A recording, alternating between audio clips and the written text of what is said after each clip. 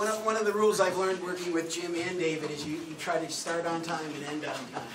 So, my name is Derek Davis. I'm the Executive Director of the Center on the Legal Profession. On behalf of both the lab and the center, we welcome you.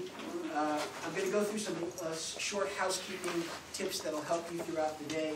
Uh, the folks from the lab have special name tags with the logo of the, the lab on the name tag, and they're always available throughout the day and this evening to help you if you have any questions. The folks from the center have red lanyards. We work with the lab, and if you have any questions for us and we can be of any help to you, please don't hesitate to ask. There are restrooms on this floor.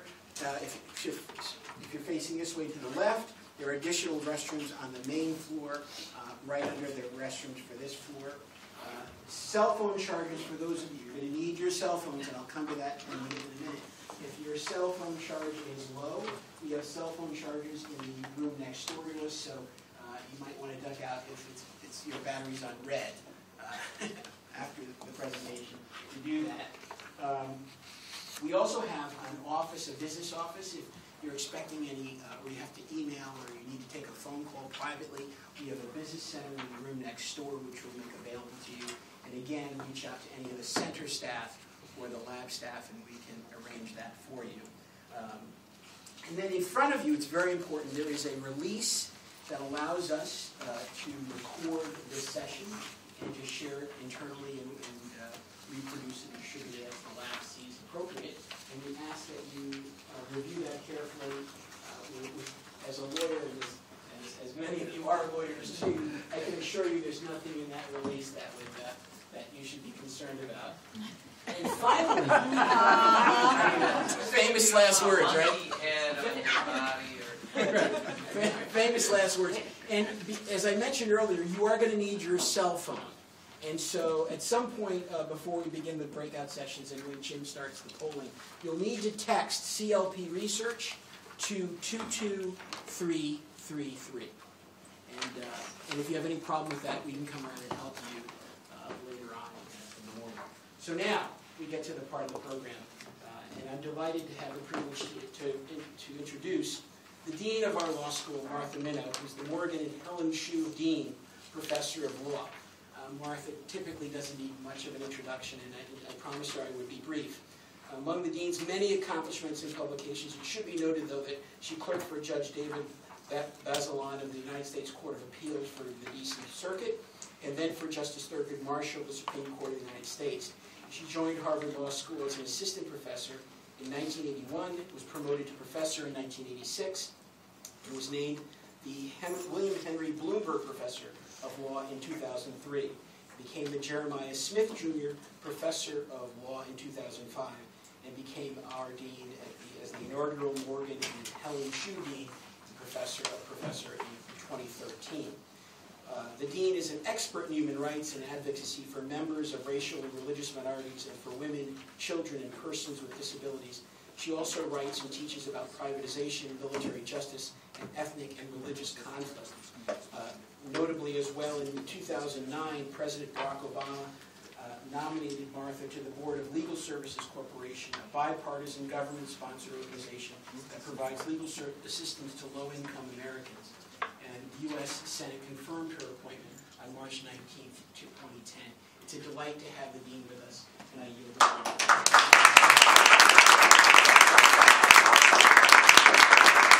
Welcome, welcome, and this is uh, a day long in the making, and we couldn't be more excited to have you all here, and every single person here, really, we are thrilled uh, by your presence and by your commitment. Derek, it's uh, completely appropriate that you would say something about cell phone charging, because you charge us all up. Um, Thank you so much, and thanks to the entire staff, both of the center and of the lab. Could you just say just a, a word or two? Everyone in this room is here because you know and you care about access to justice. But also, um, that doesn't mean I can't say why I know and care about it. Um, it, it is a crisis right now. The crisis is an overused term. But there really is a crisis in access to justice in the United States. In criminal law, I don't really need to explain. We're the most incarcerated uh, society in the history of the planet. Um, And while bipartisan and state and federal uh, consensus around reform seems very present. Political opposition seems also very present. Just on the issue of uh, access to lawyers, the standard recommendation is that there be no more than 150 cases per criminal defense attorney. The typical standard in this country is 800, even though there's a constitutional guarantee of access to uh, representation. And the New York Times, in a recent study, found that 1,600 was the caseload in one jurisdiction. On the civil side, Americans who cannot afford legal help routinely forfeit their rights because rights don't enforce themselves. And right now, our justice system is inaccessible to millions and millions of people. And when we say that, who are we talking about? We're talking about senior citizens who get caught in phone scams that then tap into their savings, that then leave them actually destitute. We're talking about veterans who can't access the benefits to which they are not only entitled, but we owe them as a society. We're talking about survivors of domestic violence, the disaster survivors who are struggling to get back on their feet, small business owners who are stymied by debt, and even people who know the law have trouble uh, being, uh, navigating these fields, and not knowing about the law is, of course, a tremendous, tremendous problem. One out of five Americans now qualify for civil legal assistance in America. Uh, That's measured on the 125% of the poverty level. Uh, One of the offices that I visited recently closes its doors after two days each month because they're full up with how many cases they can take after two days of intake. The inaccessibility of civil justice in this country is so well known, but nobody seems to care that we're 94th in the uh, rankings uh, in the, in the world, if you ask, um, on measures of access to justice. Um, And one of the major problems, I can tell you as someone who's trying to keep the Legal Services Corporation funded, it's now been marked for zero in the current proposed budget, um, is to actually make the case. Which is why the meeting that we're here for and the Access to Justice Lab is so critical. Because it's kind of stunning how paltry is the evidence, how thin is the work. And I say that as a proud member of the Boston Bar uh, uh, Task Force on the value of access to justice, which found that for low-income individuals, returns on investment is $5 for every $1 invested in access to a lawyer. And similar studies have been uh, repeated, have been conducted all over the country, but that's about the level of the research. And it's pretty crude. Um, Measures of success are also crude if you're only asking about access to lawyers, about access to other forms of getting legal help and legal information. And again, that's why this initiative is so terribly important. Nothing can actually change unless we have better knowledge and we actually know what uh, is the best way to use scarce resources. The one thing we know for sure is we will never provide lawyers for everyone who's entitled to one or everyone who needs.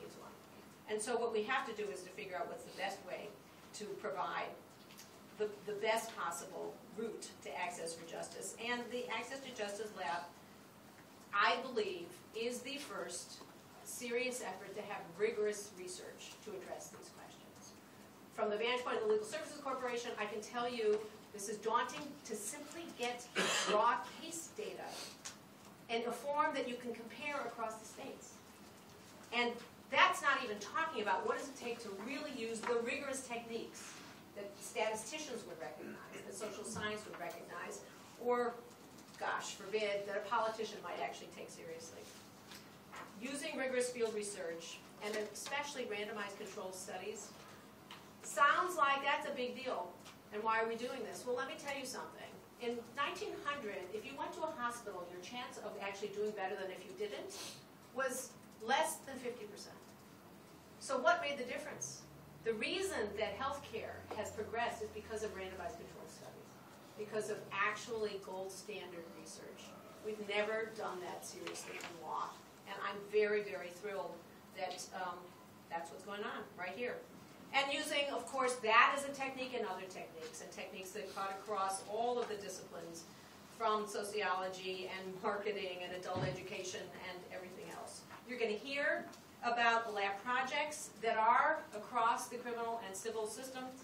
You're going to hear about court-based, lawyer-based, client-based programs. You're gonna hear about knowledge that actually assesses what works while advancing uh, science about professional decisions-making and about the motivations of uh, low-income and uh, moderate-income families and individuals and how they relate to information once it is given to them in various forms. And it is for me um, a privilege, actually, to have anything to do with this work. As it is a privilege to introduce my dear friend and colleague, uh, David Wilkins. David Wilkins is the founder and the leading light uh, of this center on the legal profession. David Wilkins has brought uh, the serious eye and attention to um, the study of the profession that it so much needs. David Wilkins has provided a home for Jim Greiner in his work on the access to justice that you're going to spend your time learning here. And David Wilkins will say more and more eloquently than I can.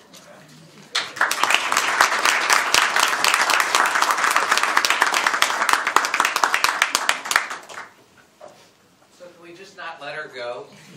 Sorry, putting in a pitch. She's giving me the evil eye. Uh, Listen, my name is David Wilkins. I'm the faculty director here at the Center on the Legal Profession, and it is a great pleasure and an honor to welcome all of you. In fact, it's more than that. It's thrilling.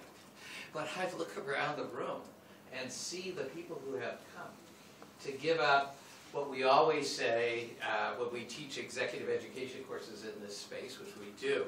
We say, uh, you know, the most precious resource we ask you for is actually not your money, although sometimes ask for that. Uh, it's your time. It's the one thing you can't get any more of, and every single person in this room is incredibly busy with incredibly important stuff.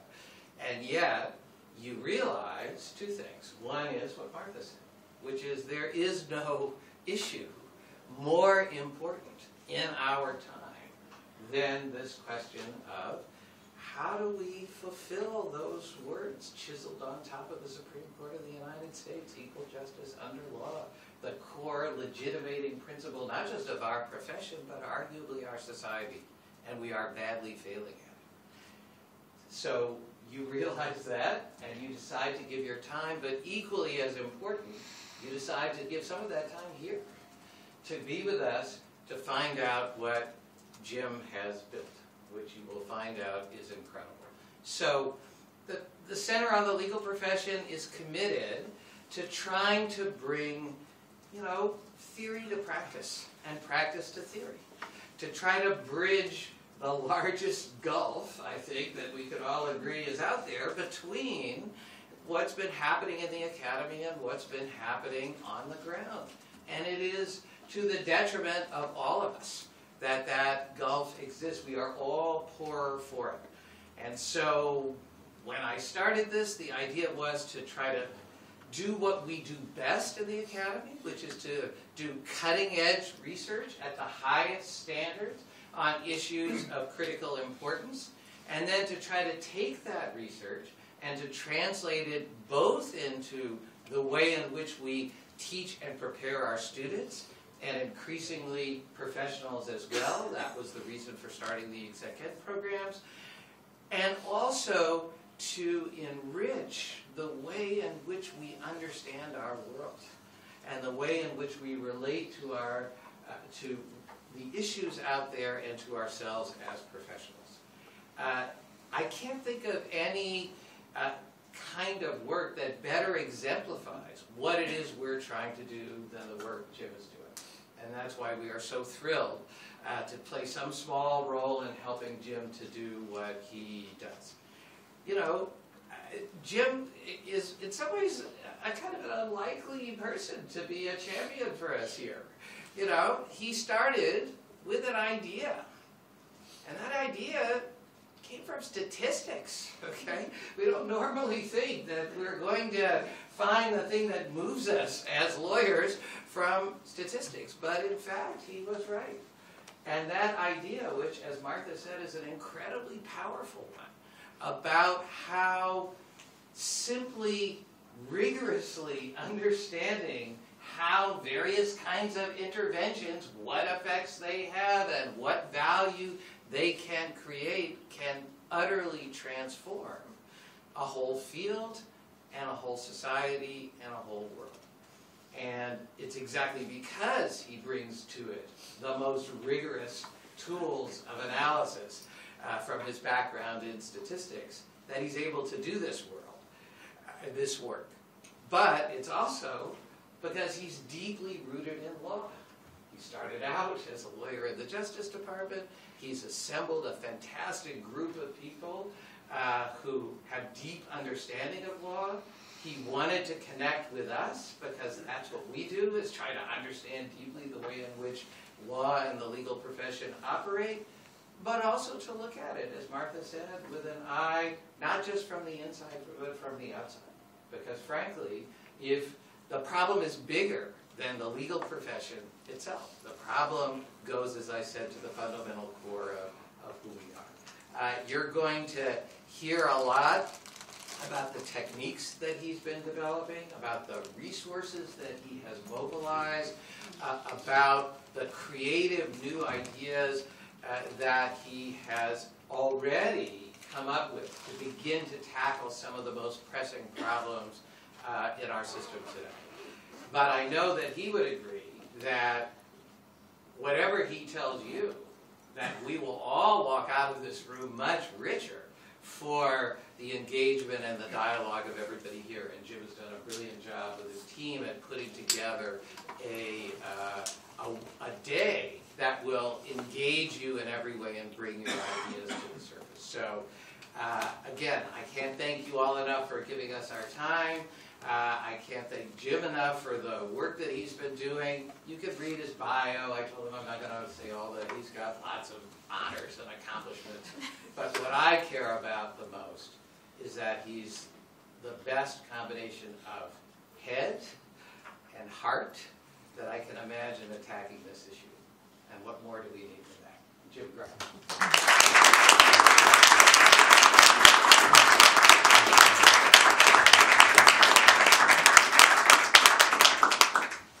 As we get the slides rolling up, I want to tell you something about the slides. I don't care if we get through a single one okay?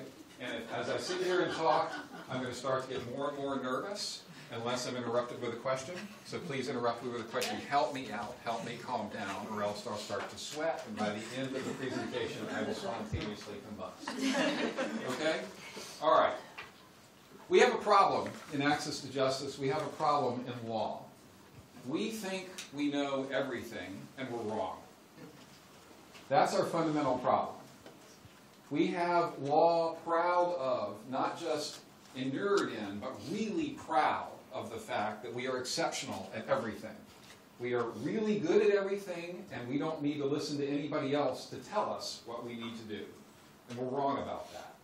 And so a lot of the stuff that we do to solve the problems as lawyers that we encounter and purport to help people solve is wrong, and we don't know which part of it is wrong. So the scary thing is, some of the time we might actually be right, and we don't know. And this is the fundamental issue with the legal profession, and it's the fundamental issue with access to justice. And so this is what the Access to Justice Lab is all about. This is what the, uh, the objectives of the Access to Justice Lab are. We need to reduce legal exceptionalism. We need to combat bench and bar hostility to lessons from other fields. We need to get over the idea that because we are lawyers, we cannot learn something from any other field. And that we need to reinvent every wheel. The wheel has been reinvented a lot of different times, but we in law insist on doing it ourselves over and over again. And this is the fundamental lesson. You're going to hear a lot about randomized control trials today. I'm not going to apologize for that at all. You're going to learn more about them. You're going to participate potentially in creating an intervention for one. But thinking big, the randomized control trial is simply one example. It's a meta example of an idea from another field that we in law have resisted for decades. And it is simply an idea that infuses others because it tells us what works and what doesn't. The fundamental problem is that we in law think we know better than anybody else, and we don't. And so we need to test, we need to be more receptive to ideas from other fields, we need to generate our own ideas, and then test them. What is it then? What led us to this conclusion that says we know, we know the answer already?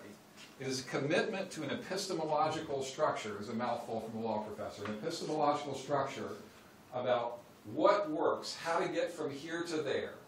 that has two major components to it. One is what I see in my day-to-day practice, and the other thing is what the cool people tell me is true. Those are the two things that we trust as knowledge about what gets here to there.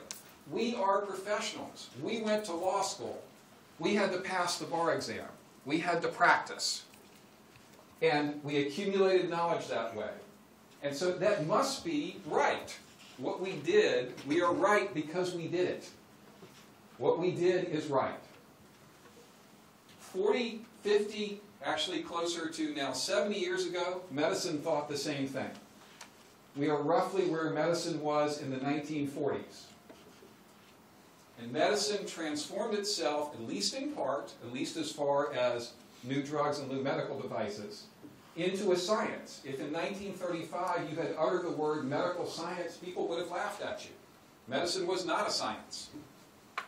We can transform law into a science as well and realize the types of gains that Martha introduced in, in her introductory remarks to transform the legal profession into an evidence-based, efficient uh, profession that accomplishes the goals that it sets out to accomplish. And as we all agree, we are failing, failing miserably right now. What is a randomized control trial? Why is it important? As I mentioned, it is a meta, it is a meta tool. It is an idea coming from variety of fields, statistics, for example, used lots of different places to figure out what works and what doesn't.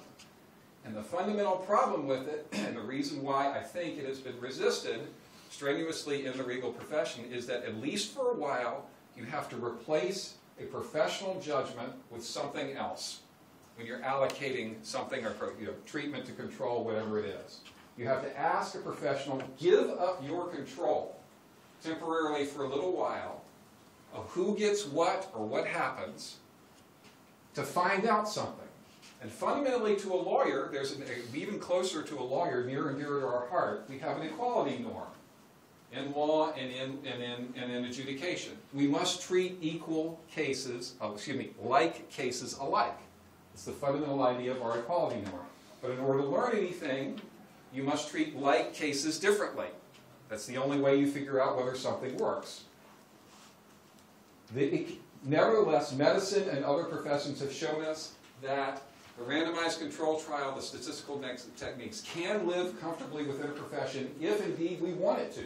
And this is something that I'm going to challenge you to think about. Do we want the legal profession that we have right now? And this goes again to the hearts and minds of the legal profession. So what is an RCT? We're going to hear that, that acronym. What is it? Well, basic idea is you randomly allocate units of some kind, cases, defendants, letters that you're going to send out, whatever it is, to one condition or to another or to multiple conditions, and then you measure outcomes. Requires you to identify outcomes up front, which in law I suggest we're not so good at either. Why is it necessary? It is the only way to tell whether some treatment that you're interested in causes some result. The only really rigorous way, not the only only way, but the only really rigorous way to really tell, you know, whether some treatment that you're producing, you're, you're implementing, some intervention is a magic word, causes some outcome. Why is it necessary? Because you just don't know without randomization. Let me give you an example that I've used before, uh, which is about why you would want to use randomized control trial. I'll give you an example. Uh, lawyers in delinquency proceedings. Should we give lawyers to juveniles in delinquency proceedings? Should we do that in order to help the juveniles, to help the quote-unquote accused? They're not supposed to be called accused in juvenile delinquency proceedings.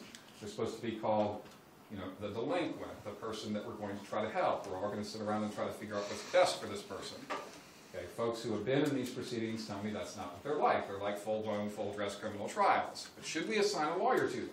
Well, what should we do if we consulted the evidence that's out there right now? Let's get some science on the case and you look at non-randomized studies, and you'll find, at least as recently as when we looked at this three or four years ago, you'll find 13 studies out there. Okay? 12 of them, depending on how you count, not randomized. Seven of those 12 using regression, non-randomized techniques, statistical techniques.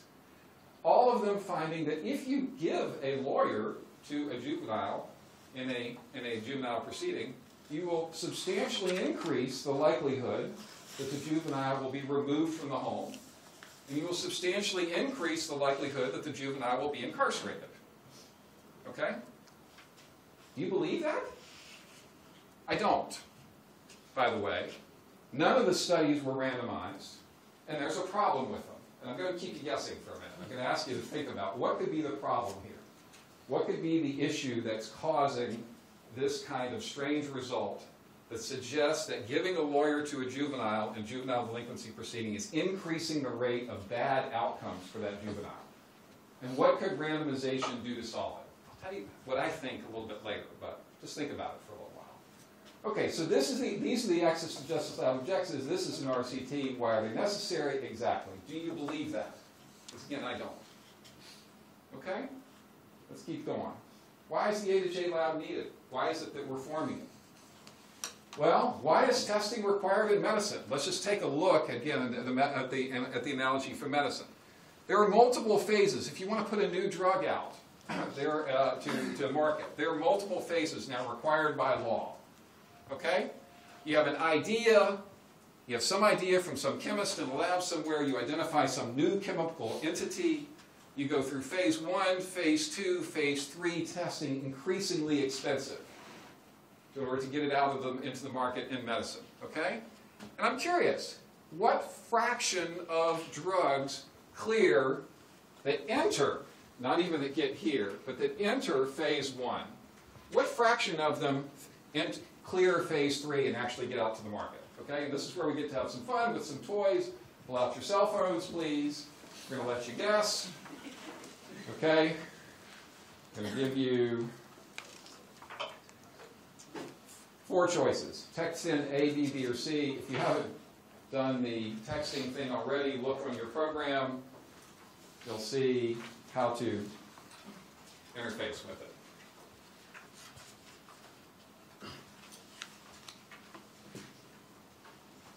Give it just a moment.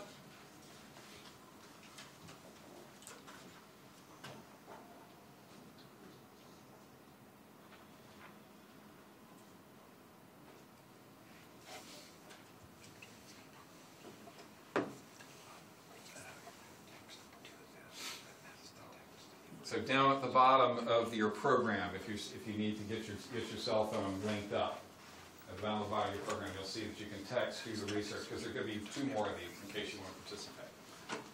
Okay? As a statistician, so far, I would call this substantial uncertainty That's what the answer is, right? Don't quite know. Right? One, one more second, and then we'll move on. So, it seems to be 10% is winning, but not by a whole lot, right? I'm not sure I would even call that winning a little bit more now. Latecomers are really depressed about the prospects. Okay, great. Let me move on. The guess is sort of 10%, but not, not a, a super strong signal, okay? Still moving a little bit. All right. The answer is in fact 10%. So at the point at which you start, the medical companies start to invest large sums of money. Everything that enters into that process, the medical companies, the drug companies are starting to invest large sums of money. One in nine out of ten fail. Nine out of ten fail. Okay? We're going to do one more of these polls. Where do they fail? Right? Where do they fail? Because each stage of testing involves greater and greater investment of dollars and resources. So where do they fail? Where is the biggest drop-off? Okay, and I'm going to give you three choices. They fail phase one, they fail phase two, or they fail phase three. Where is the biggest drop-off there? Okay, I'm going to let you, let you text. Uh, again, A, B, and C. Fail phase one, fail phase two, fail phase three.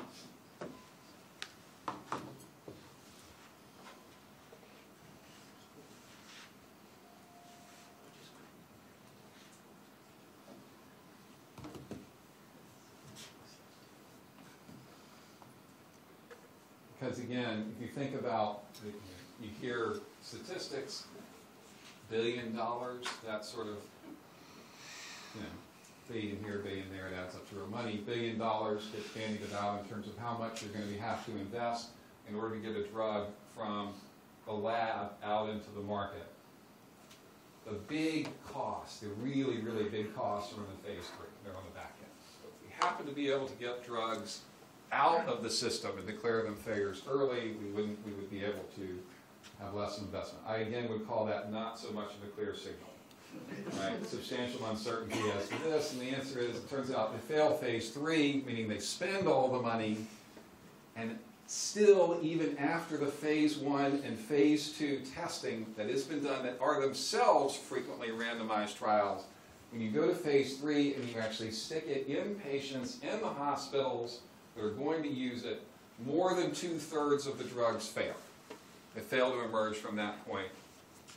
Whereas that's what we do in law. Why do we do this?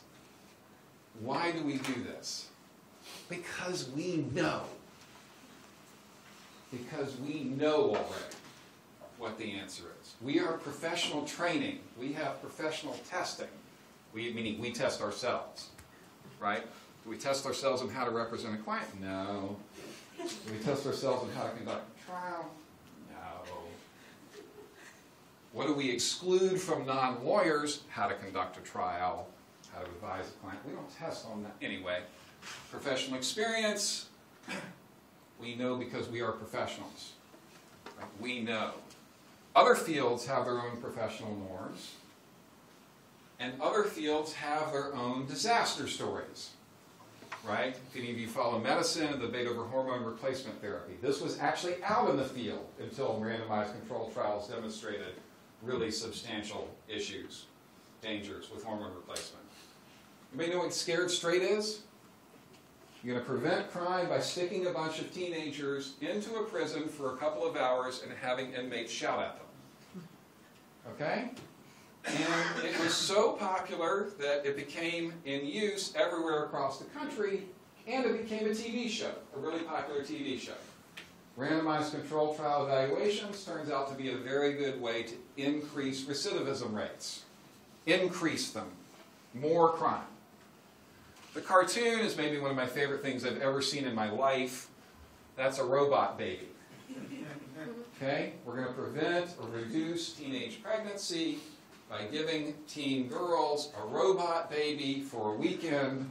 The robot baby screams at opportune times, it does other things at inopportune times, and the idea is that the girls are going to say, oh gosh, this is so horrible, I am not going to get pregnant.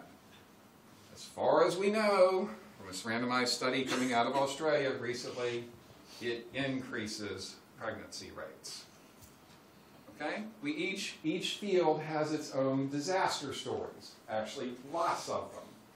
The more testing that one does, the more disaster stories that one find, finds. But we in law, we don't test. Because we are that much smarter than everyone else. Because we know. Believe that? I don't, by the way. This may become a theme. If you ask me if I believe it, I don't Let me give you another example of how we operate. This is old enough to where I think many people in, who have been involved in this, I think almost everyone is, has passed away or has retired. But here was a randomized control trial. Here we actually got one done, and let me tell you about the example, the, the reaction to it that we, that we uh, gave, that we, uh, our reaction involved. So the idea is that there's going to be basically what amounts we would now call a settlement conference for appellate cases in the Second Circuit under something called the Civil, uh, Civil Appeals Management Program, CAMP. Okay? Program, I believe, is still in existence in many circuits around the country.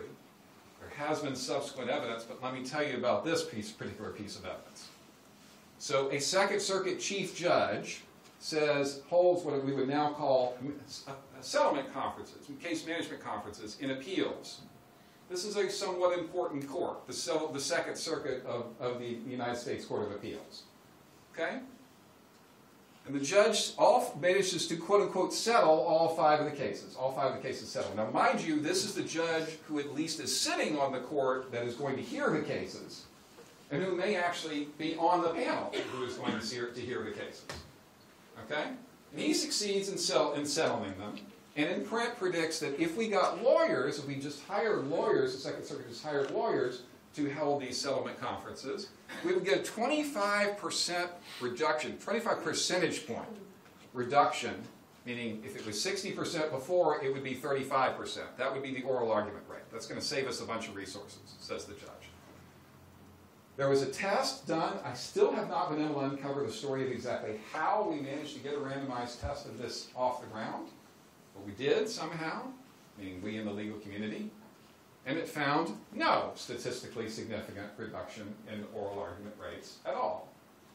So, what do you think our reaction in the legal community would be to that finding? I'm not going to have you text a cell phone guess to this. I'm just going to tell you. And this is a quote. This is I'm not paraphrasing. This is a quote. The Second Circuit remained committed to the camp concept and maintained the program.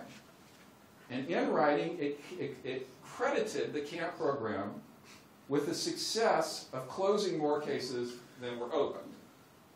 And it said, okay, now you've had fun with your randomized control trial. Can I please have more money to expand camp as presently constituted? The money came with the strings attached. You got to do another randomized control trial. We might give you some money, but you got to do another RCT. There was another RCT until the chief judge of the Second Circuit managed to exercise enough weight to kill it. It was abandoned because, on the rationale, that it was unfair to deprive the cases in the quote unquote camp control group of the benefits of the program. That was, I'm not, I'm not, that's the quote. Okay? And the RCT number two also failed by the pre-specified success criteria, which were themselves reductions from the chief judge's original predictions for the program. It failed by a hair's breadth. It failed. What's the reaction now of a somewhat powerful court in the United States? The report from the scientific body of the federal judiciary, Federal Judicial Center, all persons sharing responsibility for management of the patient uh, appellate caseload should give these procedures serious consideration. The benefits disclosed by the first RCT, not the second one that failed by a hair's breadth, the first RCT persisted into the second one, into this evaluation. And we should go forward. This is our reaction because we know.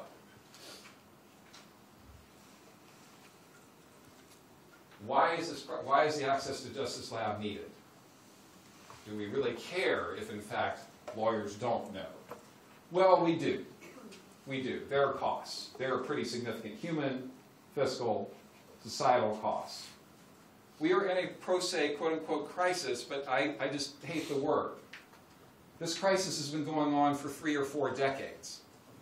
At what point do we stop using the crisis and say, this is normal? This is our new normal? It's not even new anymore. Three or four decades? That even feels like a long time to me, and I'm kind of old. Pro se is how human beings interact with the justice system now. Corporations, labor unions, incorporeal entities, fine, they have lawyers. Human beings interact with, with the justice system pro se. That's how we do it in the United States. And it's not going to change. It's not going to change. Resources are quote unquote getting cut, but they're always getting cut. They're so low right now that, as Martha mentioned, law offices are opening two days a month. Court systems are shutting down one way a week, one day a week, excuse me. And in this setting, we are ignorant of what works. We are ignorant of how to spend our money well, and it's not just wasted money, it's human costs. Here's my last of these cell phone surveys for now. Okay?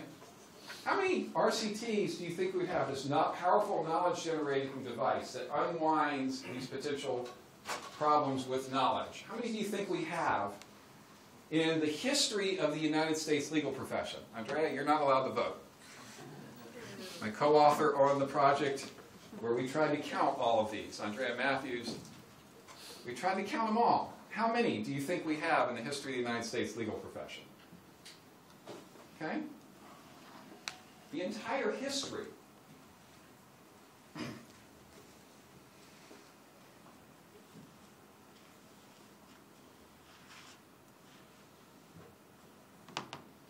RCT, for those of you that want to know, was roughly invented.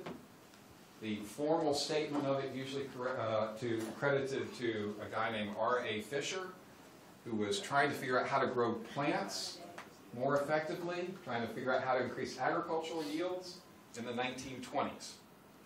Okay? Ideas were, ca- were casting around before then. Okay, but mostly credited to him. So it is roughly 100 years old okay, since the idea was formally stated. Again, I'm not seeing any clear signal here. I would say there's substantial uncertainty in the room about what the answer is. We'll give one more minute. Don't see anyone else texting. Okay, so what's the answer? The answer is 50. So roughly one every other year since the statement of profession. By way of comparison, the number produced in medicine is actually impossible to count. You can't, you can't count them all. Okay? Another measure of the depth and breadth, both the depth and the breadth of our ignorance. Things that have never been subject to RCTs that, that are related to access to justice. Anyone recognize anything here that's done day to day? You know, Isn't this like almost everything that we do to promote access to justice and law for law for human beings as opposed to law for incorporeal entities? Isn't this almost everything? Maybe 50 isn't that few. Maybe 50 is actually kind of enough. Okay, well, civil versus criminal law. That's one division that many in the room that went to law school would recognize, although I recently found out from a couple of students that I may not have been as effective. It may have taken me like three months to teach that concept. I'm not going to glare at the student that told me that, but anyway. Within civil, we can have transactional versus adjudicatory types of law. Typically, those folks, those types of lawyers, just don't talk to each other very much because they just do such different things. If you're a litigator, you don't talk to the transactional people. Within adjudicatory, we got people that operate in courts versus people that operate in administrative agencies. Within courts, we've got a traditional litigation track versus an alternative uh, dispute resolution track. Right? Lots of people specialize in ADR.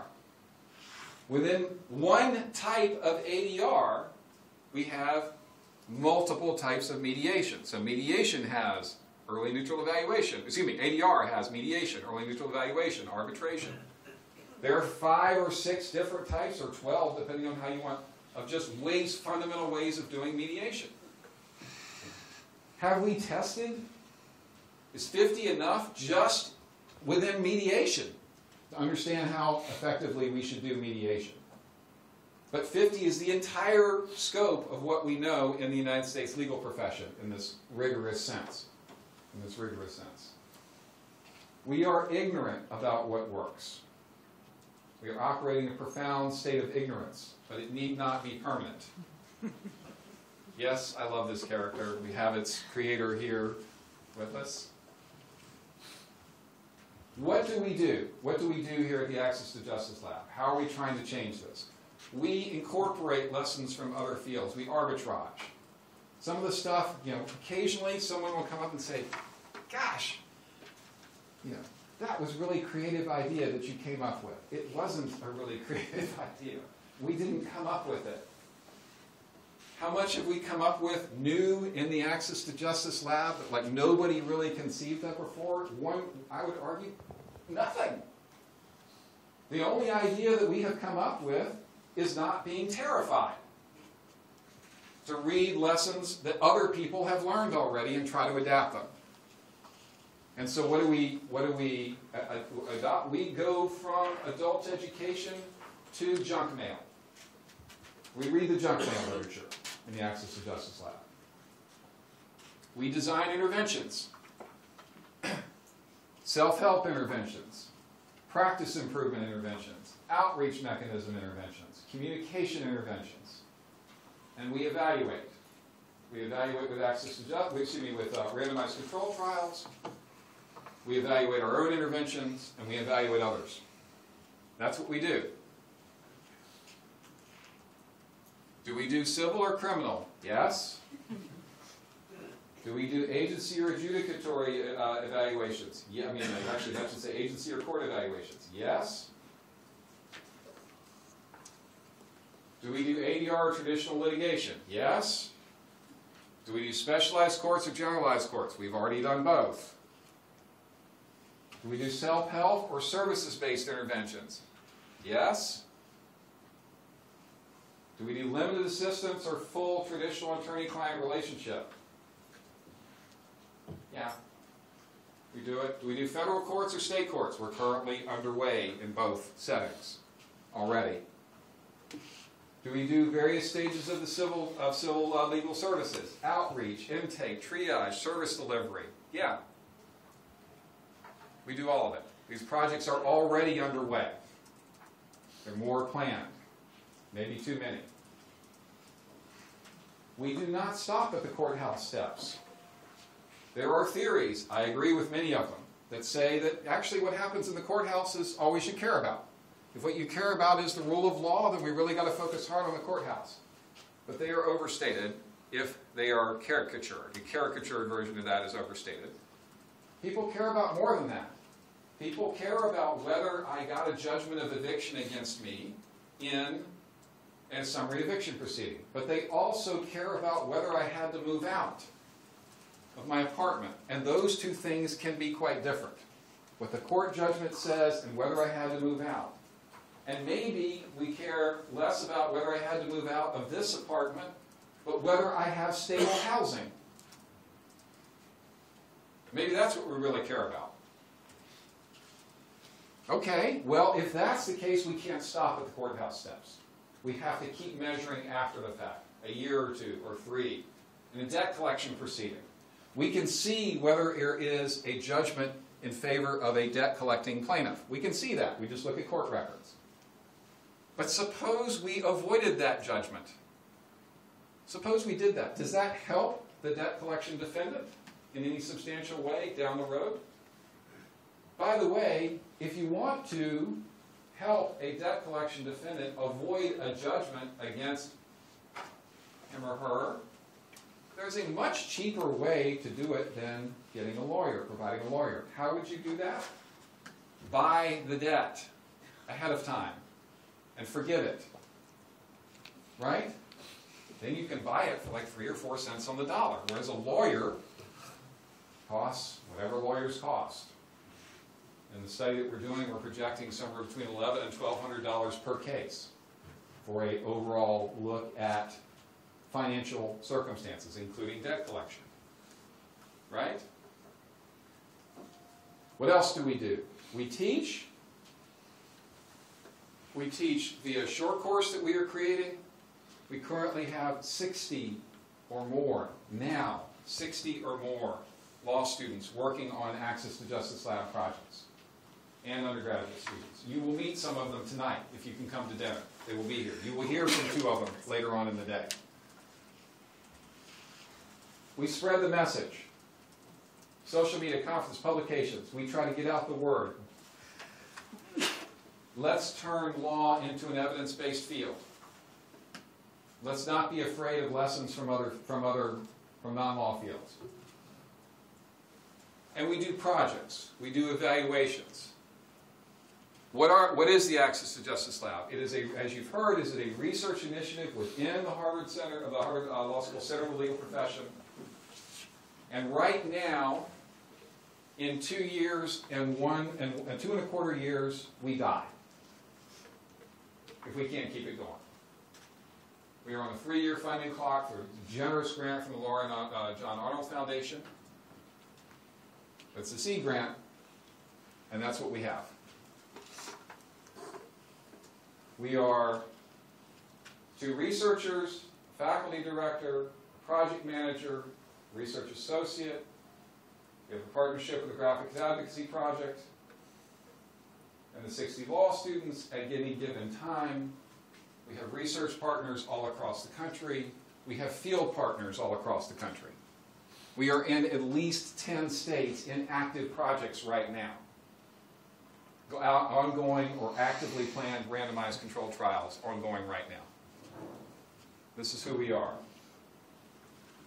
I want to tell you, I want to give you the opportunity, I should say, to hear more about specific projects that we have underway. One criminal, one civil. I'm going to introduce the Access to Justice Lab's Research Director, Chris Griffin. He's going to tell you about the criminal law project that we're doing. It started randomization two weeks ago in Madison, Wisconsin.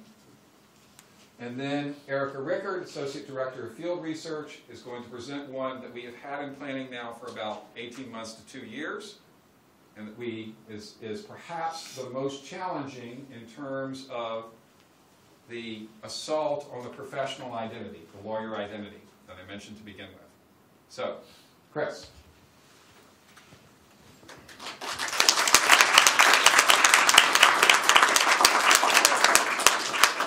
Oh, you want this, you want this, okay. If you're gonna do that, grab the microphone, okay. Okay.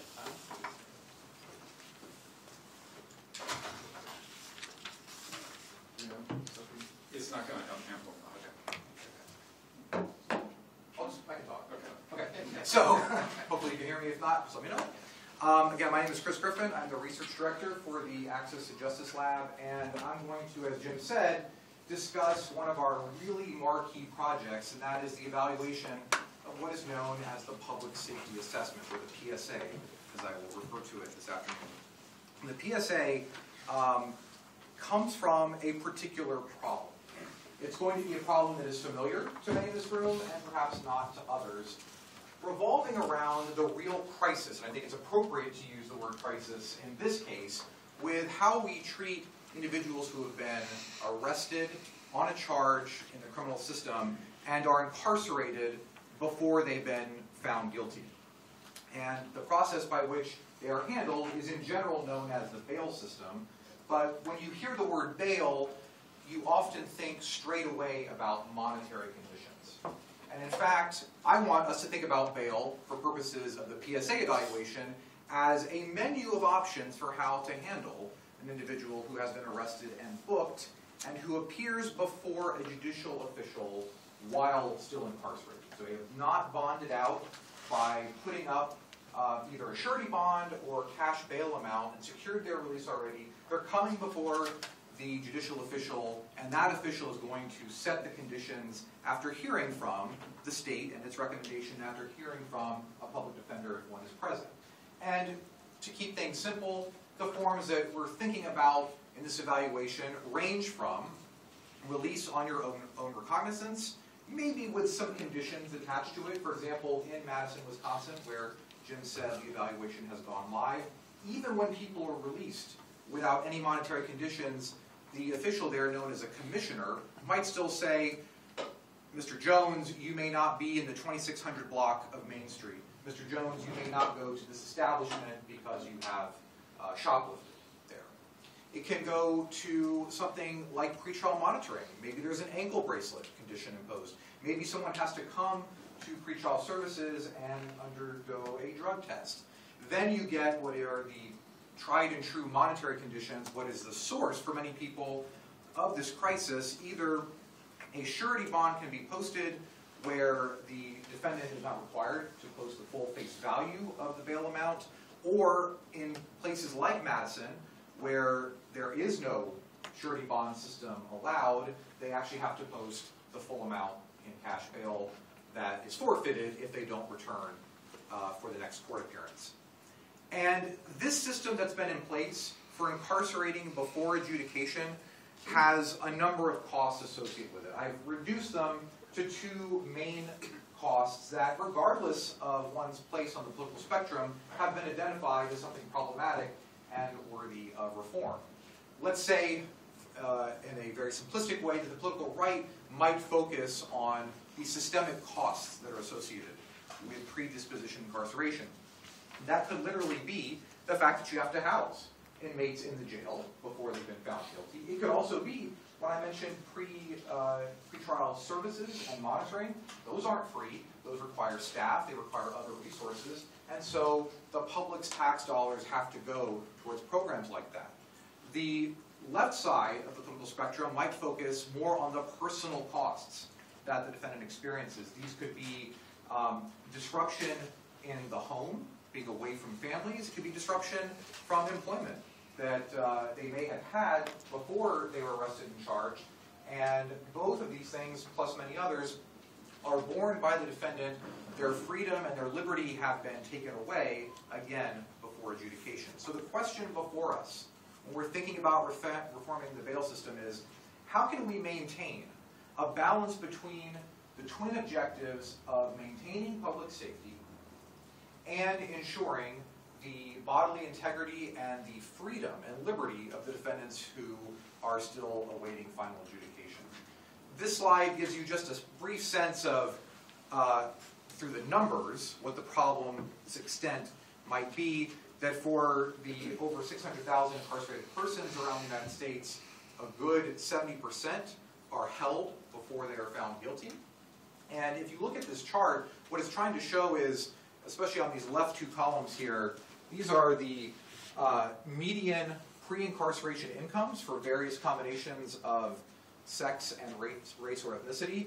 And you have uh, people unable to meet their bail requirements with extremely low median incomes. If you are African American, male or female, you're hovering between nine and eleven thousand dollars uh, of income, and with bail set sometimes in the thousands of dollars, that could be a really steep condition to meet. In addition, when I so that was more on the personal side, looking at the defendants. When you look at the system, this graph is showing that just between 25 and 30 percent of county jails that responded to the survey said that their capacity was at 81 to 99 percent. There are just too many people being held predisposition. So, what is the solution before us? The one that has received a lot of attention and is the subject of our RCT is the actuarial risk assessment. This type of risk assessment tries to use real, concrete, objective information that can be gleaned from administrative data. Especially the one that we're looking at, the PSA requires no interview-based information. And yet, there's already a lot of backlash against this idea. You have academics who say that they involve serious value conflicts and raise serious constitutional questions. The former Attorney General, Eric Holder, in a speech, was concerned that risk assessments may inadvertently undermine our efforts to ensure individualized and equal justice. What we want to do is ask, even though we take those concerns seriously, if we have a risk assessment tool that avoids a lot of those problematic inputs, that uses static criminal history, is it better than the status quo? There, of course, is a lot of bias. I'm not talking about race or gender bias. There's bias in the way that judges already perceive the risk that someone poses to the community for being let out pre-disposition. What we want to say is, can we measure whether something like the PSA does better above and beyond the status quo already infected by bias? And the PSA was developed in conjunction by our benefactors at the Laura and John Arnold Foundation and Luminosity, um, where Marie Van Nostrand of that organization developed the science behind it using 1.5 million cases around the country to say what might seem obvious to us right now, that the best predictor of your failure upon release, failing to appear for the next court date, committing a new criminal act, is really based on your history of doing those things. And so that's what goes into the development, not into the assessment, not these problematic variables like race, gender, education level, socioeconomic status, where you live. It's all based on the static criminal history. And as I just mentioned, one of the uh, ideas put out by the Arnold Foundation is that the PSA obviates the need for interviewing these defendants and gathering a lot of the time and resource consuming information that people use right now in making arguments about what bail should be. And it also doesn't rely primarily on the current charge because you can imagine that a judge seeing a defendant and noting that it's a severe violent crime, let's say, might equate that with risk in releasing that individual. When in fact, if we really think about what risks matter. It could be general criminal activity, it could be general failure to appear for the next court date. So the RCT that we have in place right now, it is live. Uh, The PSA is being provided randomly to the commissioner in Dane County and Madison, and we are hoping to do the same thing in two more counties in Iowa and four additional counties in Utah, including Salt Lake City, where if we can pull that off, it will be a really scientifically exciting experiment because Salt Lake is the only one of any of these counties that has ever had a pretrial risk assessment tool in place. They've decided to jettison that tool and adopt the PSA, and so we're going to do a head-to-head battle, so to speak, between that old risk assessment and the PSA. And if you think about this, at the end of the day, what these RCTs look like in practice is, in a randomly selected half of cases, a piece of paper is provided to the judicial official, the state's attorney, and a public defender if one is there. And in a randomly selected other half, it's not. So to get to the place where we're handing a piece of paper, in some cases and not, takes a vast amount of work. About one and a half years in the case of the Dane County experiment, since I joined the lab in July to get Iowa and Utah off the ground, because we have to work, and we enjoy working with so many stakeholders in the criminal justice system. And that's just a list of with whom we have worked in Dane County, and it's been really enriching to hear a lot of the principles and values that Jim was talking about, about not just buying into the conventional wisdom. This is the approach that our partners um, in all of these jurisdictions are really taking, and it's, it's, uh, it's really wonderful to see that they're willing to subject their understanding of how the bail system should work to a new idea and to evaluate it at the same time. Chris, Yes, sir. are the judges in these studies agreeing to abide by the results? Great question. They do not have to take, it's a recommendation that appears on the PSA printout. And that word is very important because it is only a recommendation. All these judicial officials will retain the discretion to choose their own release condition. And so part of our study will of course be to see how often they concur with that recommendation. The outcomes that we're going to measure very quickly, I'll just focus on the first couple because they're the ones of most interest. We want to know, thinking about the cost to the individual defendant, how long do they actually spend incarcerated between their initial appearance and case disposition? How often do those who are released, who do secure their release, fail to appear for the next court date? And how many commit a new violent or nonviolent criminal act during that predisposition period? Um, the other uh, outcomes are things that happen after um, the guilty verdict is brought down and a sentence is, is uh, issued, but they're, they're important for the lifespan of the case. But what I want to focus on, if you're thinking, is that window of time between release and being found guilty or innocent, what are we going to do about those individuals when released? We're going to hopefully provide better, more objective information to judicial officials to make their decisions. And lastly, we're going to test directly. Would you be better off not having those defendant interviews? So in the cases in which the PSA is used, we'll also be able to say, did the addition of interview-based information, would that have given us any better sense of the risk that this defendant posed? And we'll also be testing whether in fact, as the foundation has reported, the risk tool is race neutral in a very limited sense for right now, that if you are assigned to the same risk scores that the PSA provides, do you fail at the same rate regardless of your race or ethnicity? That's the definition that they're going on, that's the one that we will test.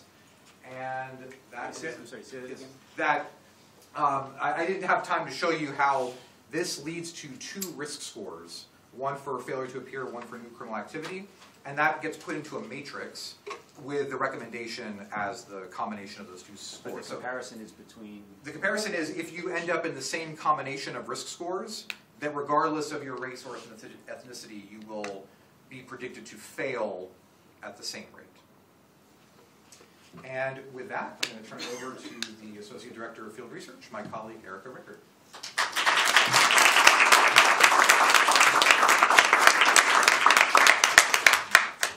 Hi folks, I'm Erika, and I'm going to be talking about one more case study, also focused on decision-making by legal actors. Uh, unlike Chris's, this is not about judges, this is about legal aid attorneys or legal services providers and triage decisions that they make, specifically in the context of intimate partner violence or IPV. So I think at, at the outset, I want to describe what we mean when we say triage. Uh, folks might mean different things. What we're talking about is basically scarcity compelled choice. So if you think about whether it's in an emergency room or a legal services intake or any field, when you have a scarce resource and more people who are trying to access that resource and you're trying to allocate who gets which level of service, that's what we're talking about. So we're kind of talking about tiers of levels of service, the most scarce resource in the legal services field being limited or excuse me, full representation, uh, where one attorney represents one client for the life of their case. There's slightly more access to limited advice and self-help materials, and as we talked about before, uh, a bulk of people who are accessing the court system pro se, being, being the, the largest part, the largest part of the pyramid.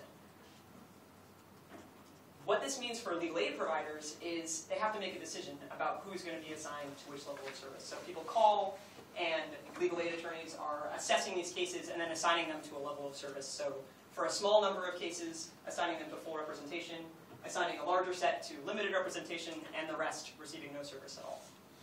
So this is a world that we're all pretty familiar with. And one, one more piece I want to add to that is the idea of nascent demand. So there's this whole other group of people that we don't even see, right? The people who never call, who don't know that they have a legal problem, or don't know about the legal resources available. And by their very nature, they're also in the uh, group that's receiving no assistance whatsoever. So this is the, this is the field of play. It's the field of play in Ohio as much as anywhere else. The field partner that we're working with on our IPV case, uh, study is Ohio Community Legal Aid. And in Ohio, we did a, a quick analysis of the number of civil protection orders or restraining orders that are filed. And of course, just like everywhere else, a very, very small number of people actually have an attorney with them when they go in the courthouse. A vast majority are coming with no lawyer at all. In, in this situation, in these eight counties in Ohio where community legal aid works, they're serving about between 6 and 7% uh, of the total number of people who are seeking restraining orders. So we know that there is, realistically speaking, no amount of resources that's going to change the dynamic where legal aid is suddenly going to be able to provide the full level of representation that they would like to for all these clients. What we don't know is which cases they should be taking, right? We're making our best guess at those sorts of things. Uh, we, we did a quick analysis of the success rates of who uh, obtains civil protection orders in Ohio, and a little bit troubling, what we saw was in about half of the counties that legal aid serves, people's success rate of actually receiving a civil protection order was a, a little bit higher if they didn't have a lawyer than if they did. Um, similar to what Jim talked about with juvenile delinquency, that doesn't necessarily mean what it might sound like it means. We're not quite sure what this means, right? We're, we haven't done any kind of rigorous evaluation to determine who's seeking a restraining order, who, which clients are reaching out to attorneys, and which ones are actually receiving attorneys. This is calling out for some kind of rigorous evaluation, right? Which is, of course, where we come in. Uh, so we're going to be conducting a pretty huge study. This is, I think, going to be pretty groundbreaking in a number of ways. It's also a soup to nuts kind of operation. We're both providing the actual one of the actual interventions itself. So for folks who don't receive full representation, we're building self-help materials that are going to make a more robust set of resources for people who don't get that, that top level of scarce resource. Uh, we also have this full robust field operation in the, uh, as a randomized study that I'll go into more detail. And uh, lastly, we're doing a more long-term outcome analysis. So for everyone who calls legal aid, we're going to be following not only to see whether they received a restraining order or not, but also following those individuals for a period of two years to see more long-term outcomes that we can assess. This wouldn't be possible without a strong field partner on the ground, Community Legal Aid in Ohio. We're also working with the court system in Ohio is, is, has bought into this project. We're also working with the battered women's shelters in the area who funnel a lot of the intake into legal aid, uh, as well as our research partner at the University of Akron to do that long-term study that I described. Okay, so what we want to look at with this randomized study is which cases should they take, right? In which situations does a lawyer make a difference? We were looking at that, that previous analysis of success rates. The success rates alone tell us that lawyers aren't necessarily the make or break for everyone. There is some group, in this slide, group one, uh, of people who, maybe because of their own self-advocacy ability or because of the clear, compelling evidence in their case, they're going to get a restraining order whether they have a lawyer or not. On the other end of the spectrum, there's the folks who, no matter the best efforts of the attorney, isn't going to make the difference, and they're not going to receive a restraining. So what community legal aid wants to find is that middle group, the group where the lawyer is the difference between whether someone does or does not receive the safety and protection of, that a restraining order provides. How do we figure out which people are in that group is, is the real challenge. So this is where the randomized study comes in. This is, may look a little complicated, but I'm going to walk you through it step by step. So the first step, which is what's happening right now, people call in to legal aid and ask for legal help. We're actually going to boost the numbers there, of the, increase the number of people who call to address that nascent demand issue that I talked about before. People come in and they receive the same kind of eligibility and assessment that legal aid provides right now, where they're determining whether someone is eligible for legal aid services and whether they have some uh, meritorious case, whether they're in the realm of the cases that a legal aid attorney would take if they could take 100% of cases that they wanted to. Once they've done that initial test, once they've done that initial analysis, they're going to make a triage decision. Would, would you assign this case to full representation or to some kind of limited assistance, which is going to be uh, telephone advice and a self-help packet? Now, legal aid, this is the uncomfortable part. Legal aid is going to hold on to that decision for a minute. They're going to pass that case on to the Access to Justice Lab. We're going to do two stages of randomization. The first step is we'll randomly decide whether to assign that case to the level of service that the attorney selected, or in a randomly selected group of cases, are going to have a computer decide. For that second group, going to be a, there's going to be a second stage of randomization, where some cases will be assigned to full representation, and some will be assigned to limited representation. So that ultimate decision that the computer makes might actually be the same as what the attorney had made, but it might be different. Then the Access to Justice Lab brings that final determination back to legal aid, and they serve the client based on that determination. We then follow up with that case to see both the adjudicatory outputs of whether they received a restraining order or not, and then the longer term outcomes over the life of that case over the next two years. By doing this two different stages of randomization, we're going to be able to answer so many more research questions than in, in the other studies that have ever been done. We'll be able to see both which types of factors attorneys are using when making their triage decisions, because we'll have that initial input, the data of the initial client and the type of case that they had, to be able to see what cases attorneys are taking for full representation and what cases they're not. By doing a randomization and having a computer assign some cases to full rep and some cases to limited, we're also going to be able to see in which cases can, can someone represent themselves adequately, and in which cases does a lawyer actually make a difference. And then by doing a longer term outcome analysis, we're also going to be able to see the effect that a restraining order actually has on that person's other circumstances in their life by following up after two years. So we'll be able to see a little bit more about what role a civil protection order actually has in the first place. Folks have any questions? Um, how, if at all, are you going to account for judicial variability in terms of the way the judges run their courtrooms? Since you're going across counties, you have elected judges in Ohio. It's a So- free, so that's a free good- for all, every courtroom in Ohio. That's a great question. So, it's, so there's a lot of different courtrooms. So we're talking about eight different counties and multiple uh, magistrates within each county. And one of the one of the challenges that we've seen, like for example, when we were looking at the success rates of people who came to court without a lawyer and came to court who didn't, we can't really tell which. Uh, we're looking at apples and oranges, and we're not sure which ones are which. With this randomized study, we've got apples, we've got oranges, we've got bananas, we've got all the judges and all the counties, and the, a large enough group of people that are, have a randomly assigned outcome, right? A randomly assigned level of service. So that's going to be true in regardless of which judge it is, and regardless of the circumstances of that individual case. So by sheer volume, the number of people that are different from one another are all going to be in the same pool, and they're all going to be randomly assigned to different to different service providers.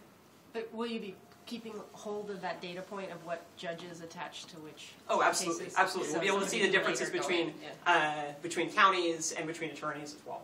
Um, but the I think the the key point is that the overall group It- is going to be randomly gets- assigned to yeah. different. Yeah. Thank you. Yes. Is identifying the cases in group two what do you think the intake attorney should be doing, or is it what they think they're doing? I mean, I, I- a couple examples, right?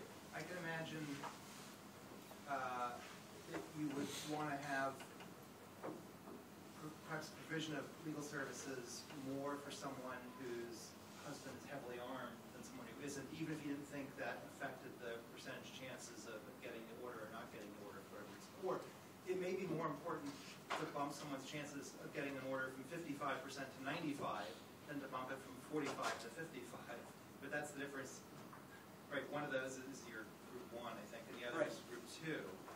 Yeah, and so I think the answer is, Do, Or is it just what you think they should be doing, but it might It's both. It's both what they think they should be doing and what they're trying to do, right? So what, what we, as Jim was describing before, this is, this is our best guess as lawyers, using whatever information we have available because we don't have any rigorous analysis. But of course, so there are some legal aid providers or prosecutors or others who might actually be taking those cases where they think they can win, right? Where they're more, they're most interested in the cases that they will have a success rate this legal aid organization is really interested in figuring out where they can help. So figuring out, no, understanding the fact that for every person that you're serving that would get a restraining order with or without you, and for every person that you're serving who doesn't have a chance, that's resources that you're wasting that could be spent actually getting resources, getting restraining orders for people who won't otherwise get them. And so what's really compelling to me about this study is we have a field partner who's willing to make themselves uncomfortable for the duration of the study and let a computer be involved in their decision making, which is, as Jim said, kind of a threat to their pro- professional identity because they want to provide better services with the resource constraints that they have. One more question, and yes, go for it. So in, in legal aid practice, we often have an operating theory that um, one judge may be more friendly to pro se's and another judge may be less friendly. Um, that one set of fact patterns may work better for pro se or may be worse. And the challenge for you, to the extent you can track those kinds of separations, I would think is going to be numerosity. That at some point you just don't have enough numbers in those subcategories. Is do you have any conversations so far with a legal aid provider of if you get hints in the study that there are those kinds of maybe not not enough numerosity to have statistical significance, but hints that there may be those kinds of differences. Any interest in considering follow-up study to explore those kinds of specifics?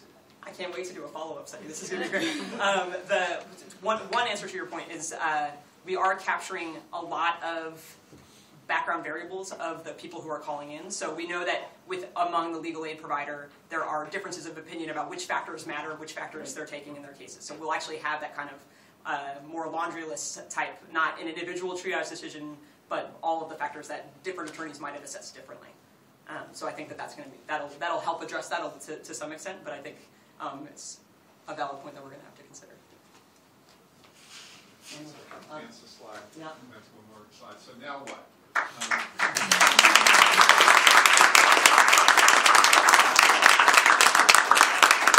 So, great, we've got a short break. Um, Okay, everybody, here's, let's, let's go. Here's what's going on. Um, I may be amplified at this point. I'm not sure. Okay, it's not too loud? Because my voice goes. Okay. Um, We're gonna ask you, I, I'm not supposed to say this, I'm gonna say it anyway. We're gonna put you to work. Um, we're gonna ask you to help us solve a problem that we have encountered and have proposals to solve, but we don't know whether we have the right proposal. We don't know whether the right idea. We're going to go through a randomized experiment to try to figure that out. And the basic origin of this problem is, uh, it really starts about three year, three-ish years ago, maybe three and a half years ago, maybe four, I can't remember exactly, um, looking at some of the folks who already tried to do. It, which is basically that a legal services um, uh, provider uh, called um, me or contacted me and basically said, we have the strangest problem that any legal services provider has ever encountered, which is we have an excess of legal representation power, and it's not currently being used well. Um, and I said, okay, how does that happen? And the way it happens is basically that the setting is, we're going to say small claims court. The first study was actually in a court level above a small claims court. But the continuation study is in small claims court, which is a court system designed to interface with individuals without lawyers. In fact, in some, in at least a handful of eight, nine states around the country, you are not allowed to come into and appear in a small claims court if you are a lawyer unless you are the party. You cannot represent someone. So this is the basic idea. Small claims courts are supposed to be pro se accessible. That's how they're set up, right? And the basic idea is, basic problem um, is that there are lots and lots and lots of cases filed in small claims courts. A very high volume uh, case, uh, uh, case volume.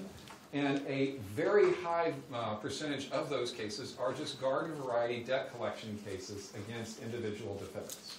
They almost always are brought by credit card companies or debt buyers who are buying credit card company debt or sometimes hospital debt, but usually credit card company debt. Why is that? Because the credit card is the lender of last resort for, uh, for, for many people.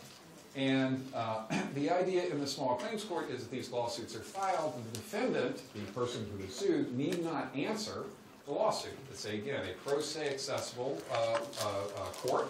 You just you get a trial date and you show up, and then you and then you have the case, right? And that's what's going on. Um, and there is a lawyer for the day program by a particular legal service provider. Again, this is going on around Massachusetts and around the country, so we're just going to make it generic. Um, there's a lawyer for the day program there. What is a lawyer for the day program there? It's exactly what it sounds like. You get a lawyer for that day, and there are lawyers waiting outside the courthouse, the courtroom, inside the courthouse, and you approach them, if you are the defendant, and you say, I'd like some help, you know, and they maybe give you a little quick income um, screen or something like that, and then they say, okay, I will help you, and the way I will help you is I will do an interview with you for 15 to 20 minutes, find out the facts and circumstances of your case, and uh, maybe look at some documents if you have any, and then I will undertake the following. I will negotiate with the opposing side. Um, I will appear before you in court, appear on your behalf in court to argue a motion. I will not typically take a case to trial because on the theory that a lawyer would need to prepare more or find out more about the case. But I will at least negotiate and argue um, for you. But as I mentioned, around the country in many settings, the lawyers are born. Um, and in, in, in the initial study, the initial things, uh, uh, the initial uh, circumstances that gave rise to this problem, there were approximately uh, one, uh, the ratio of clients to lawyers was about one to three on a typical day. So each client had three lawyers willing to represent the client. Um, and so that's just kind of weird, right? Whereas the lawyers could actually have, you know, they could have represented three or four people per day because the engagement is limited. And so there's a lot of underutilized uh, representation capacity. And why is that happening? And the reason is basically folks aren't showing up, right? They're not coming in. They're not coming in to contest their cases. And that, again, by itself is kind of weird. And why is it? Well, because we actually think when we research the law here, when we look hard at the law, look hard at some non-randomized data, okay, some non-randomized data, but we actually think, you know, that if they did show up, they might win, right? Or they might sell for cheap or cheaper than they certainly do if they don't show up, because if you don't show up, you lose automatically, and the plaintiff gets everything the plaintiff asked for, right? So, okay, why is that? Well, that, that requires a more extended discussion than I want to offer, at least without a question, I want to offer in terms of the potential pathologies in the debt collection industry, especially the debt buying industry. Basically, what it comes down to is in our legal system, if you sue, you are the plaintiff, you have the burden of proof. You have to show that you should win the case. And the defendant doesn't have to show anything except, and so if there's no evidence, then the defendant wins. That's how our legal system works. And in many of these cases, the plaintiffs who are filing lots and lots of these debt collection lawsuits know that they're going to encounter a 90 to 95% default rate, and so they don't bother to get the evidence because getting the evidence costs money. Right? And even for the debt buyers, at the moment when they buy the debt, they pay, pay price X to buy the rights to the debt, if in fact they do that. It's another potential pathology. They may sue without the rights. If they do that, but they pay price 3x if you buy the debt with the evidence that you would need to prove it. And since they don't have to do that, they don't. Right? And so if you showed up, you might well win. This is the theory anyway. This is the situation that we became we became persuaded that this was a theory that should be investigated. Okay? So it might well be in people's economic interests to show up. They might be able to resist, or it might not, depending on their own individual circumstance or something. But in any case, it seems kind of strange to us. So the task that we're going to ask you to undertake. How do we get small claims court debt collection defendants to show up?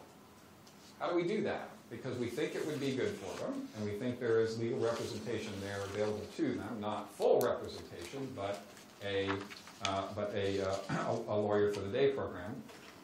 What do we have available in terms of communicating with them?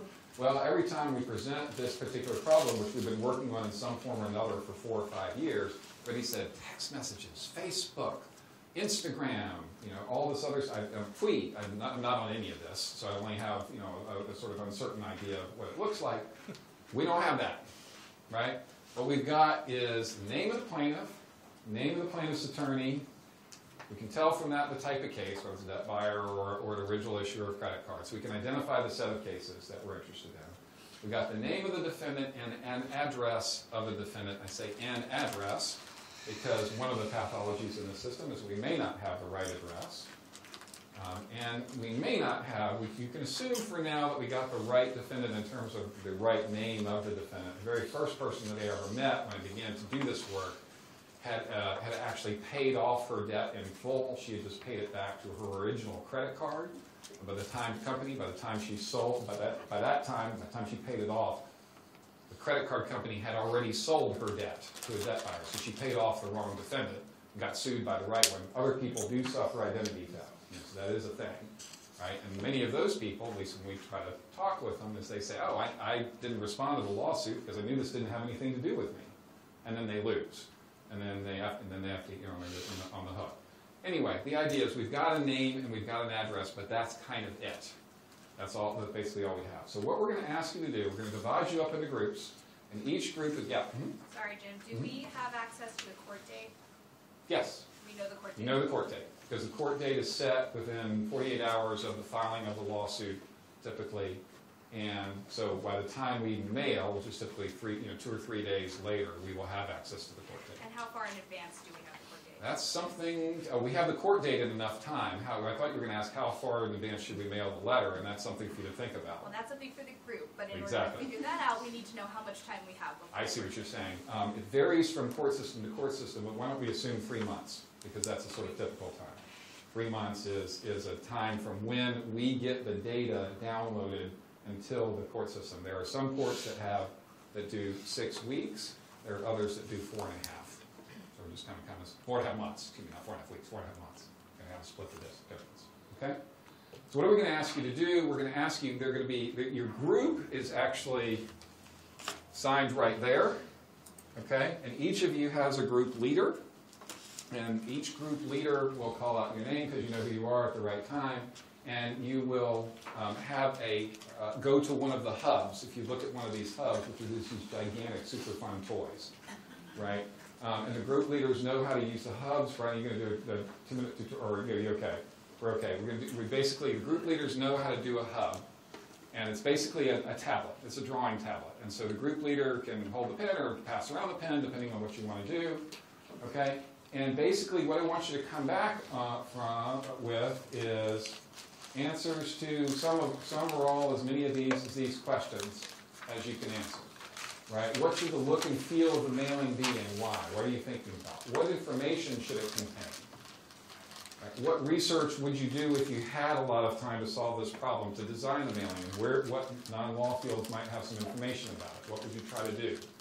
Okay, as some of you are familiar with our ideas that we proposed and are trying to get out in the field, but I will tell you, don't need to be limited by those. And when we ran this exercise in a recent class, one of David Wilkins' class, the class just came up with totally different stuff from what we, we had come up with before. Um, so this is what we want to do. Um, so what we're going to ask you to do right now, by the way, group leaders, no one, don't ever hit the I'm done button on the hub, okay? You might think that will save everything and then it, and then it can be emailed somewhere else. It deletes everything. It deletes all of your work if you hit the I'm done button on the hub, okay? You've got about 45 minutes to do this, and then you're going to be in a break for until until four. Okay, create your own proposal, draw it, write it, brainstorm, whatever you want to do. The hub is an infinite whiteboard, so you can write as many things as you, you want and just keep moving it around, um, etc. And then we will come by and yell, you know, for, for at 3:45, time for the break. Okay, and then you'll have your break, and then we will reconvene um, at that point. Questions? Jim, Yes. could you just very succinctly say what is the objective of that communication that you want us to? Get people to the Lawyer for the Day program, okay? Because we actually, we actually ran into this problem, it's an excellent question. There are a couple of different objectives. You could say avoid default, right? But avoid default, you might, that might be accomplished if the plaintiff dismisses the case before the first, the first hearing. And that can occur if they negotiate. But our thought is, at least for this setting, and again, we, we, we use different measures of success when we ran, you know, the first preliminary pilot study on this. One, the measure we're thinking about, our thought process behind this is get them to the lawyer for the day program. They need a lawyer to tell them that they might actually have really good defenses, right? And so, and, you know, because they're, they're not watching John Oliver, you know, if they're not listening to radio, to, um, to, uh, uh, This American Life, the whole This American Life, um, uh, segment on where you're just supposed to, you know, what happens if you walk in and say, where's the evidence? Right, there's an entire forty-five minute, you know, they, they may not have heard it, right? They need a lawyer to walk in and tell them that. And so we wanna get them to the lawyer on the day, we'd rather actually not have them negotiate before, beforehand. Okay, Okay, does that, you. that answer your question? Yes, it does. Okay, questions? Yes, What dollar value are we supposed to assume is at stake here? Yep. Because small claims limits in state courts can vary from Yep. two thousand to twenty-five thousand. yep, exactly. And so we'll say that this one is a mess, it's seventy-five hundred now, Judge Stein? Seven thousand, yeah, it's off by five hundred dollars. So seven thousand dollar upper ceiling on the amount of controversy. Yes, What are the resource constraints on the treatments? I mean, you could offer them twenty dollars to come in and see the hmm. lawyers, but I Judge imagine. Stein, how would we do if we did that? We might- Might run into a little bit of trouble if we did that. So you would want to at least think about, there are enough lawyers in the room to at least think about what sort of ethical issues and, and et Right, cetera. legal and ethical implications aside, I mean, you know, can we? Would color would color letters be too expensive? What? you know? Don't worry about that now. In other words, do brainstorm about color letters, you know, and color, the use of color, which is one of the things we, we, we brainstormed about. And then think, you know, maybe right over on the side might be expensive or something like that, right? Paying them directly, I can tell you is out.